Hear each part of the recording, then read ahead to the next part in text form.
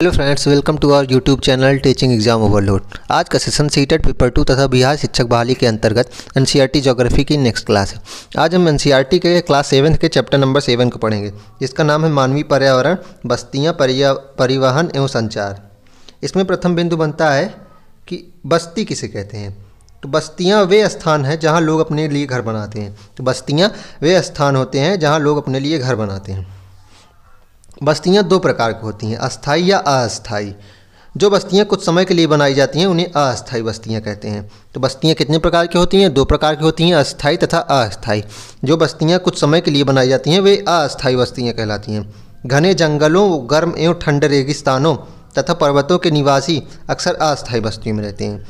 तो अस्थाई बस्तियों में कौन कौन रहता है? घने जंगलों, गर्म एवं ठंडे रेगिस्तानों तथा पर्वतों के निवासी अक्सर अस्थाई अस्थाई बस्तियों में रहते हैं। वे आखेट संग्रहण स्थानांतरी कृषि एवं ऋतु प्रवास करते हैं। तो अस्थायी बस्तियों के निवासी आखेट करते हैं, अर्थात, आखेट करते हैं, अर्थात शिकार करते हैं, संग्रहण करते हैं, अर्थात भोजन आदि का संग्रहण करते हैं तथा स्थानांतरी कृषि करते हैं। मतलब कुछ दिन यहाँ इस कृषि की है तो कुछ दिन वहाँ कृषि करेंगे तथा ऋतु प्रवास करते हैं, अर्थात किसी विशेष ऋतु में किसी विशेष जगह जाते हैं तथा किसी अन्य ऋतु में किसी अन्य जगह रहते हैं। यद्यपि अधिकांश बस्तियाँ आज अस्थायी बस्तियाँ हैं। हालाँकि आजकल अधिकांश बस्तियाँ जो हैं, वो अस्थायी बस्तियाँ हैं। इन बस्तियों में लोग लोग रहने के लिए घर बनाते हैं। अगला बिंदु है ऋतु प्रवास किसे कहते हैं? लोगों के मौसमी आवागमन को ऋतु प्रवास कहते हैं। तो लोगों के मौसमी आवागमन को ऋतु प्रवास कहते हैं। जो लोग पशु पालते हैं, वे मौसम में परिवर्तन के अनुसार नए चारागाहों की खोज में निकल जाते हैं। तो जो लोग पशु पालते हैं, वे मौसम में परिवर्तन के अनुसार नए चारागाहों की खोज में निकल जाते हैं। तो वे ऋतु प्रवासी हुए। तो ऋतु प्रवास किसे कहते हैं? लोगों के मौसम के आवागमन को लोगों के मौसमी आवागमन को ऋतु प्रवास कहते हैं। इसमें अगला बिंदु है कि ग्रामीण क्षेत्रों में लोग अपने पर्यावरण के अनुकूल घर बनाते हैं। ग्रामीण क्षेत्रों में लोग पर्यावरण के अनुकूल घर बनाते हैं।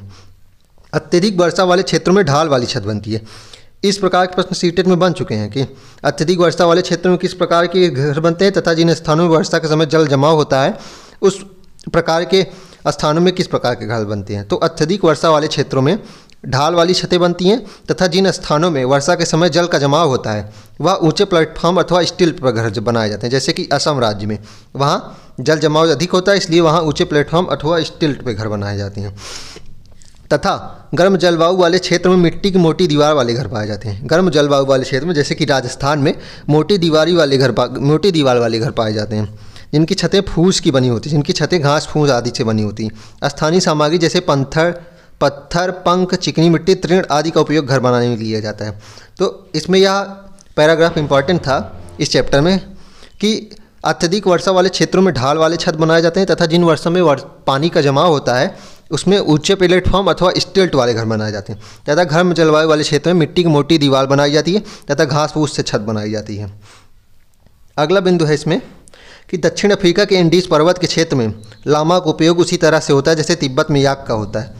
तो दक्षिण अफ्रीका के एंडीज पर्वत में लामा का उपयोग सामान आदि को ढोने में होता है। यह प्रश्न पेपर में बन चुका है, इसलिए मैंने इसको पॉइंट किया है कि दक्षिण अफ्रीका में के इंडीज पर्वत में लामा का प्रयोग किस लिए होता है? तो दक्षिण अफ्रीका के इंडीज पर्वत में लामा का प्रयोग सामान आदि ढोने में होता है, जैसे कि हमारे भारत में गधे खच्चर बैल एवं गधे खच्चर बैल एवं ऊँट का होता है। और जैसे ही तिब्बत में याक का उपयोग होता है, उसी प्रकार इंडीज पर्वत में लामा का उपयोग होता है। इसमें अगला बिंदु है कि भारत में अनेक राष्ट्रीय राजमार्ग हैं। भारत में एक्सप्रेस वे का निर्माण नवीनतम है। स्वर्ण चतुर्भुज महामार्ग दिल्ली, मुंबई, चेन्नई और कोलकाता को जोड़ता है। तो इसमें प्रश्न बन सकता है कि स्वर्ण चतुर्भुज किन चार राज्य शहरों को जोड़ता है? तो वह दिल्ली, मुंबई, चेन्नई और कोलकाता को जोड़ता है। अगला बिंदु है, हिमालय पर्वत पर मनाली लेह राजमार्ग विश्व का सबसे ऊँचे सड़क मार्गों में से एक है। तो हिमालय पर्वत पर मनाली लेह राजमार्ग विश्व के सबसे ऊँचे सड़क मार्गों में से एक है।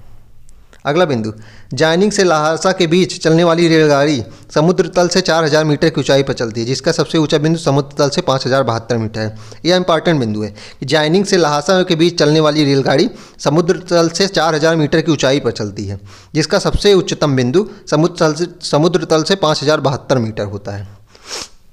अगला बिंदु ट्रांस साइबेरियन रेलमार्ग विश्व में सबसे लंबा रेलमार्ग है, जो पश्चिमी रूस में सेंट पीटरबर्ग से प्रशांत महासागरी तट पर स्थित व्लादिवोस्तक तक जाता है। तो यह यह प्रश्न बन चुका है सीट में कि विश्व का सबसे लंबा रेल मार्ग कौन सा है? तो वह ट्रांस साइबेरियन रेल मार्ग है, जो पश्चिमी रूस में सेंट पीटर्सबर्ग से प्रशांत महासागर तट पर स्थित व्लादिवोस्तक तक जाता है। तो इस चैप्टर में इतना ही। अब इसका क्विक रिवीजन देखते हैं कि इसमें महत्वपूर्ण बिंदु क्या क्या है। इसमें प्रथम बिंदु है कि ऋतु प्रवास क्या है। यह इंपॉर्टेंट बिंदु है। लोगों के मौसमी आवागमन को ऋतु प्रवास कहते हैं। जो लोग पशु पालते हैं, वे मौसम परिवर्तन के अनुसार नए चारागाहों की खोज में निकलते हैं, इसलिए उन्हें ऋतु प्रवासी कहते हैं। इसमें अगला बिंदु है कि अत्यधिक वर्षा वाले क्षेत्रों में ढाल वाली छत बनाई जाती हैं, तथा जिन स्थानों में वर्षा के समय जल का जमाव होता है, वहाँ ऊँचे प्लेटफॉर्म अथवा स्टेल्ट पर घर बनाए जाते हैं, तथा गर्म जलवायु वाले क्षेत्रों में मिट्टी की मोटी दीवार वाले घर बनते हैं, एवं उनकी छतें घास फूस आदि से बनी होती हैं। तथा एक और बिंदु इसमें इंपॉर्टेंट था कि इंडीज पर्वत, दक्षिण अफ्रीका के इंडीज पर्वत में लामा का उपयोग सामान आदि ढोने में होता है। ठीक उसी प्रकार जैसे हमारे भारत देश में गधे, खच्चर, बैल एवं ऊँट का होता है तथा तिब्बत में याक का उपयोग भी इसी प्रकार से होता है। इसमें एक और इंपॉर्टेंट बिंदु यह था कि जाइनिंग से लहासा के बीच चलने वाली रेलगाड़ी समुद्र तल से चार हज़ार मीटर की ऊंचाई पर चलती है, जिसका सबसे उच्चतम बिंदु समुद्र तल से पाँच हज़ार बहत्तर मीटर है। तो जाइनिंग से लहासा के बीच सबसे ऊँची जो ऊंचाई बिंदु है, समुद्र तल से पाँच हज़ार मीटर है। सबसे उच्चतम बिंदु जाइनिंग से लहासा के बीच चलने वाली रेलगाड़ी। तथा सबसे बड़ा रेल मार्ग विश्व का ट्रांस साइबेरियन रेल मार्ग है, जो पश्चिमी रूस में सेंट पीटर्सबर्ग से प्रशांत महासागरीय तट पर स्थित व्लादिवोस्तक तक तक जाता है। चलिए, अगला चैप्टर है चैप्टर नंबर एट, मानव पर्यावरण अन्योन क्रिया उष्ण उष्णकटबंधी एवं उपोष्ण प्रदेश। इसमें प्रथम बिंदु बनता है अमेजन बेसिन। उष्ण कटबंधी प्रदेश कर्क रेखा और मकर रेखा के बीच स्थित होते हैं। तो उष्ण कटबंधी प्रदेश कर्क रेखा और मकर रेखा के बीच में स्थित होते हैं। भूमध्य रेखा के 10 डिग्री उत्तर तथा 10 डिग्री दक्षिण के भाग को, के बीच के भाग को भूमध्य रेखी प्रदेश कहते हैं तथा अमेजान नदी भूमध्य रेखी प्रदेश में ही बहती है। ध्यान रहे कि अमेजान नदी पश्चिमी पर्वतों से निकल के पूर्व में अंध महासागर में जाके गिरती है। अगला बिंदु है, जिस स्थान पर कोई नदी किसी अन्य जलराशि में मिलती है, उसे नदी का मुहाना कहते हैं। नदी का मुहाना किसे कहते हैं? जिस स्थान पर कोई नदी किसी अन्य जलराशि में जाकर मिलती है। अमेजन नदी में बहुत सारी सहायक नदियाँ हैं। मिलकर अमेजन बेसिन का निर्माण करती है। तो अमेजन नदी में बहुत सारी नदियाँ मिलकर अमेजन बेसिन का निर्माण करती हैं। यह नदी बेसिन ब्राज़ील के भाग, पेरू के कुछ भागों में बोलीविया इक्वाडोर, कोलंबिया तथा बेनेजुएला के कुछ भागों में अपवाहित होती है। तो इस पैराग्राफ में इंपॉर्टेंट बिंदु था। कि उष्ण कटिबंधीय प्रदेश कर्क रेखा और मकर रेखा के बीच में पाए जाते हैं तथा भूमध्य रेखा के 10 डिग्री उत्तर तथा 10 डिग्री दक्षिण के बीच के भाग को भूमध्य रेखी प्रदेश कहते हैं। तथा अगला बिंदु इसमें महत्वपूर्ण था कि अमेजन नदी जो है, वो भूमध्य रेखी प्रदेश में ही बहती है। तथा यह पश्चिम पर्वतों से निकलती है और पूर्व में अंध महासागर में जाके गिरती है। तथा मुहाना किसे कहते हैं? जिस स्थान पर कोई नदी किसी अन्य जल राशि से जा मिलती है, उसे मुहाना कहते हैं। क्या जानते हैं कि जब स्पेन के अन्वेषों ने इस नदी की खोज की, तब सिर पर सुरक्षा कवच एवं घास के स्कर्ट पहने कुछ स्थानीय आदिवासियों ने उस पर आक्रमण किया। तो जब स्पेन के अन्वेषकों ने इस नदी की खोज की तो सिर पर कवच पहने तथा स्कर्ट घास की पहने हुए कुछ स्थानीय आदिवासियों ने आक्रमण किया, जो रोमन साम्राज्य के एमेजोस महिलाओं के वेशभूषा से मिलते थे। जिनकी वेशभूषा अमेजॉ, रोमन साम्राज्य के अमेजॉस महिलाओं की वेशभूषा से मिलती थी, इसलिए इस नदी का नाम अमेजॉन पड़ा। इसमें अगला बिंदु है जलवायु, अमेजान बेसिन की। अमेजान बेसिन भूमध्य रेखा के आसपास फैला है और पूरे वर्ष यहाँ गर्म और नम जलवायु रहती है। तो अमेजान बेसिन में पूरे वर्ष गर्म एवं नम जलवायु रहती है। यहाँ का मौसम दिन एवं रात दोनों ही समय लगभग समान रूप से गर्म एवं आर्द्र रहता है। तो अमेजॉन बेसिन के मौसम का दिन और रात दोनों ही समय लगभग समान रूप से गर्म एवं आर्द्र रहता है तथा शरीर में चिपचिपाहट महसूस होती है। क्योंकि मौसम आर्द्र रहता है, इसलिए शरीर में चिपचिपाहट महसूस होती है।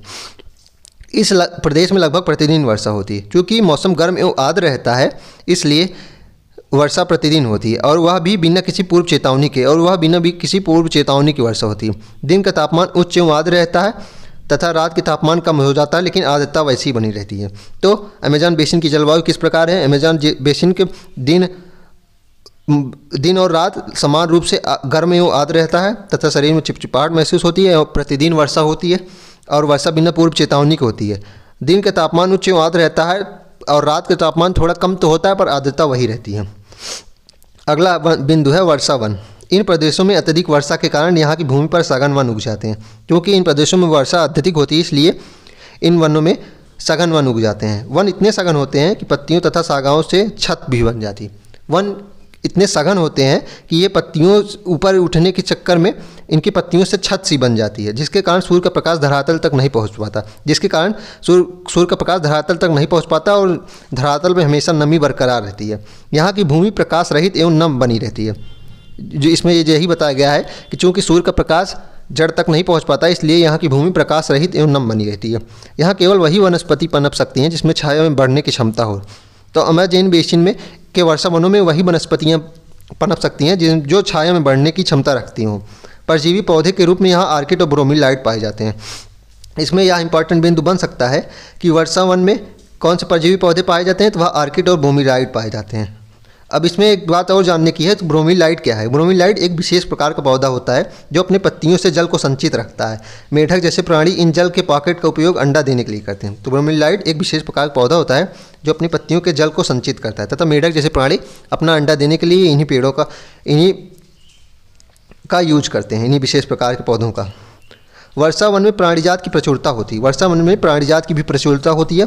टूकन, गुंजन पक्षी रंगीन पक्षती वाले पक्षी एवं भोजन के लिए बड़ी चोंच वाले विभिन्न प्रकार के पक्षी जो भारत में पाए जाने हैं, वही से भिन्न होते हैं, यहाँ पाए जाते हैं। प्राणियों में बंदर सलाथ एवं चीटी खाने वाले टैपियोर भी यहाँ पाए जाते हैं। यह पेपर में बन सकता है प्रश्न कि वर्षा वन में प्राणी जात की प्रचुरता होती है यहाँ टूकन, गुंजन, पक्षी, रंगीन पक्षी वाले तथा भोजन के लिए बड़ी चोच रखने वाले पक्षी पाए जाते हैं। प्राणियों, बंदर सलाथ एवं चीटी खाने वाले टैपियोर भी पाए जाते हैं। सांप एवं सरीसृप की विभिन्न प्रजातियाँ भी इन में पाई जाती हैं।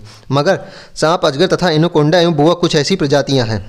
तो इसमें एनोकोंडा और बोआ प्रजातियाँ इनमें ज़्यादातर पाई जाती हैं क्योंकि आर्द्र मौसम होता है और वह सांपों के लिए, सांपों के फल फूलने के लिए बहुत उचित जलवायु होती है। इसके अतिरिक्त हज़ारों कीड़े मकोड़े भी इस बेसिन में पाए जाते हैं।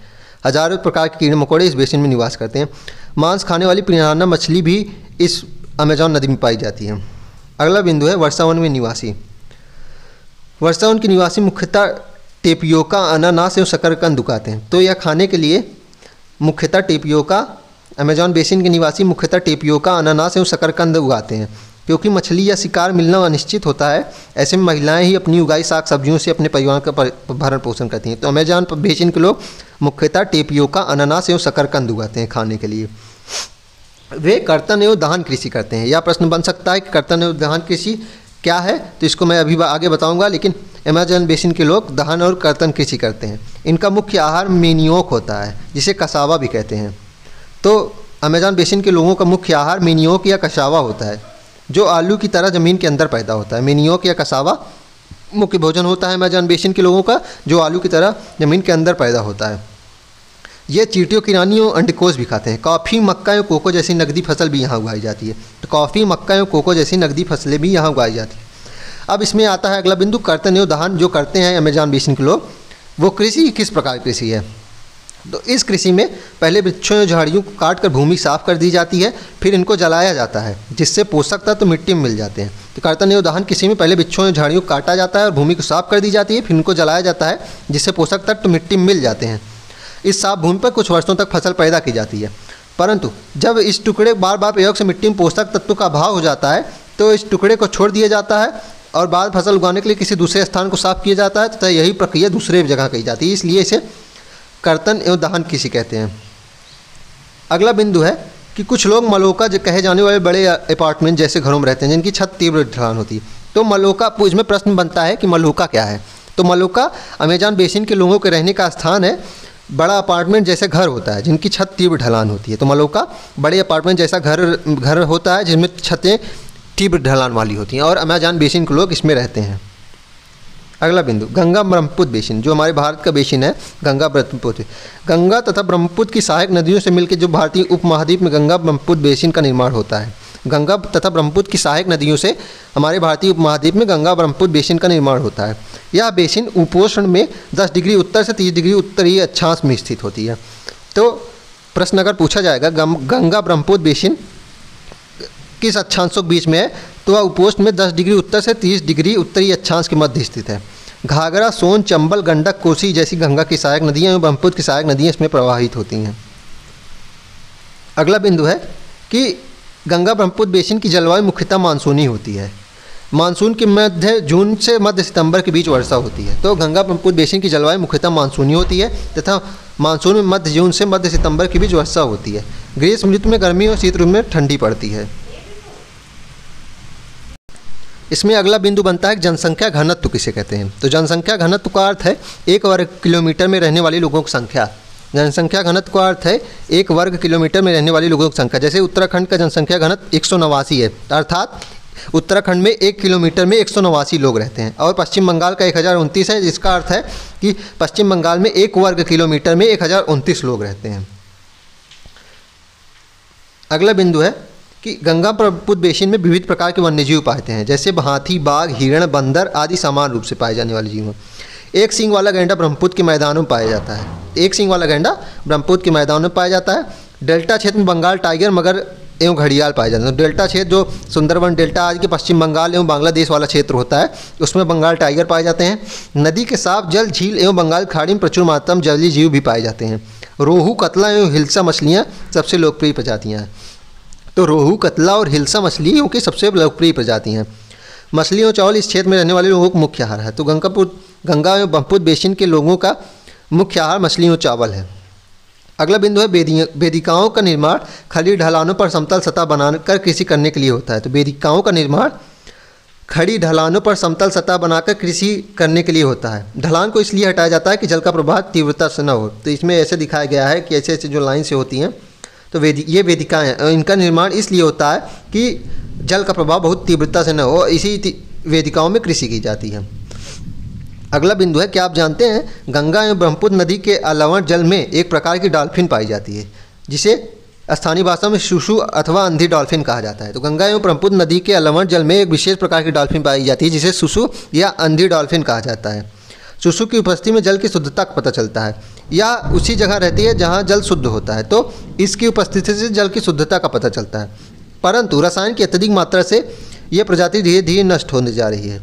इसमें एक बिंदु यह भी प्रश्न बन सकता है कि झील में उगने वाले खरपतवार कौन कौन से हैं? तो वे वेलिनेरिया एवं हाइड्रेलिया हैं। झील में उगने वाले खरपतवार हैं वेलिनेरिया एवं हाइड्रेलिया, जिसे जो जो मछलियों के भोजन बनते हैं।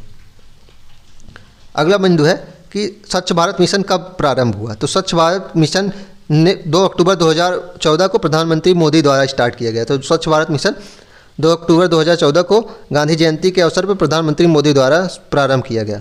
तथा नमामि गंगे कार्यक्रम क्या है? तो गंगा नदी के संरक्षण के लिए उसे नमामि गंगे पर कार्यक्रम किया गया है। चलिए, यही चैप्टर समाप्त होता है। अब इसका हम क्विक रिविजन करते हैं। इसमें प्रथम बिंदु है कि ज़ीरो डिग्री अक्षांश से दस डिग्री नॉर्थ व दस डिग्री साउथ साउथ के मध्य के भाग को भूमध्य रेखी प्रदेश कहते हैं। तो ज़ीरो डिग्री अक्षांश से दस डिग्री नॉर्थ व दस डिग्री साउथ के मध्य के भाग को भूमध्य रेखी प्रदेश कहते हैं। तथा अमेजॉन नदी यहीं, अमेजॉन नदी यहीं प्रभावित होती है, जो वेस्ट से निकल के, जो पश्चिम से निकल के पूर्व में अंध महासागर में जाके गिरती है। तथा अगला बिंदु है, परजीवी पौधे जैसे ऑर्काइड या ब्रोमोलाइट पैदा होते हैं। जो ब्रोमोलाइट एक विशेष प्रकार का पौधा होता है। सघन वन में परजीवी पौधे जैसे आर्काइड या ब्रोमोलाइट पैदा होते हैं। तो सघन वन में अमेजॉन बेसिन के ब्रोमोलाइड या आर्काइड जैसे पैदा होते हैं। ब्रोमोलाइड एक विशेष प्रकार का पौधा होता है, जो पत्तियों से जल को स्टोर करता है तथा मेढक आदि अपने अंडे इसी में देते हैं। अगला बिंदु है कि वर्षा वन के निवासी टेपियों का शकरकंद आदि बोते हैं एवं खाते हैं तथा कर्तन एवं दहन किसी करते हैं तथा इनका प्रमुख आहार मेनियोक या कसावा होता है, जो आलू की तरह उगता है, अंदर उगता है। एवं ये कुछ विशेष प्रकार के घरों में रहते हैं, जिनका अपार्टमेंट बहुत बड़ा होता है तथा इनकी छतें टीप ढलान होती हैं, जिसे क्या जिसे मलोका कहते हैं। चलिए, आज का सेशन यहीं तक। कल हम फिर किसी नए चैप्टर नए सेशन के साथ मिलेंगे। तब तक हमारे चैनल को लाइक करें सब्सक्राइब करें। धन्यवाद।